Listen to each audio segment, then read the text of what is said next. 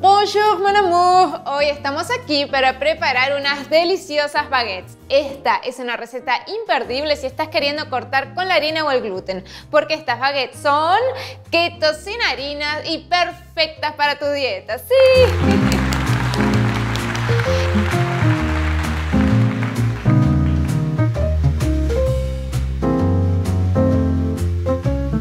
Y si quieres aprender cómo hacer todos tus panes favoritos en su versión baja en carbohidratos, entonces entra en panesketo.com que te enseñaré cómo hacerlo.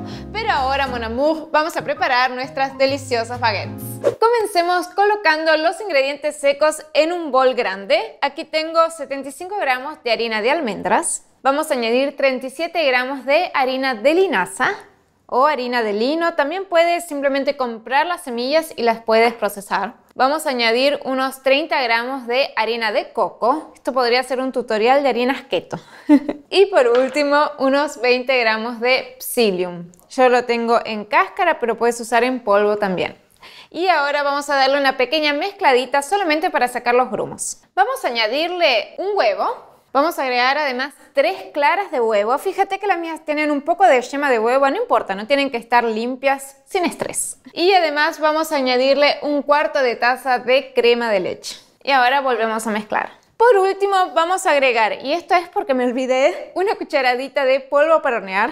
Vamos a agregarle además un cuarto de cucharadita de sal. Si te gusta más salado puedes ponerle un poquito más. Y además vamos a ponerle dos cucharadas de vinagre de manzana, esto le va a dar un muy buen sabor. Y además por último media taza de agua tibia. Y terminemos de armar la masa, dándole una buena mezclada. ¿Y cómo queremos que esté nuestra masa? Nuestra masa queremos que sea fácil de hacer una bolita o un bollito, pero tiene que estar húmeda, suficientemente húmeda para darle una buena forma y que no quede muy resquebrajada, por decirlo de alguna forma. Y ahora vamos a dividir esta masa en dos y es momento de formar nuestras baguettes.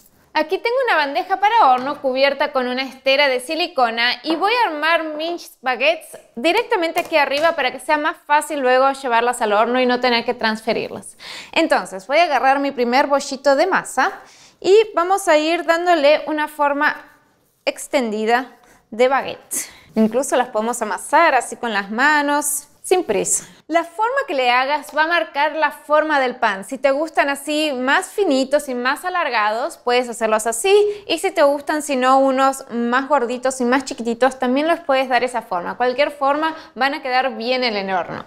Y ahora vamos a darle el toque final, una decorada para darle la forma de baguette, haciéndole unos cortecitos diagonales. A mí me gusta que sean no muy diagonal, sino más bien casi en la dirección del pan para que no me marquen en los bordes, digamos, y quede solo en la superficie de arriba. Y llevemos estas hermosuras al horno a 200 grados por unos 10 minutitos o hasta que se empiecen a dorar y luego bajas el fuego a 180 grados y cocinaslos unos 30 minutitos más. Ahí venimos. Y ¡ulala! Así de fácil conseguimos preparar nuestras baguettes sin harina y sin gluten. Esta es una receta que tenía pendiente desde que hice mis amadas brusquetas. Si quieres saber cómo hacerlas puedes buscar brusquetas Camila Cost, pero hoy me voy a preparar un delicioso sándwich. Mmm, ya lo estoy saboreando. Como así también vas a saborear las recetas que están en mi nuevo libro Panes Keto. Quiero que entres en panesketo.com para descubrirlo. Muchísimas gracias, mi amor, por acompañarme en este video. Yo soy Camila Cost y no olvides de darme like y de seguirme para descubrir todas tus recetas favoritas en su versión saludable. Nos vemos en el próximo video. Chao, chao.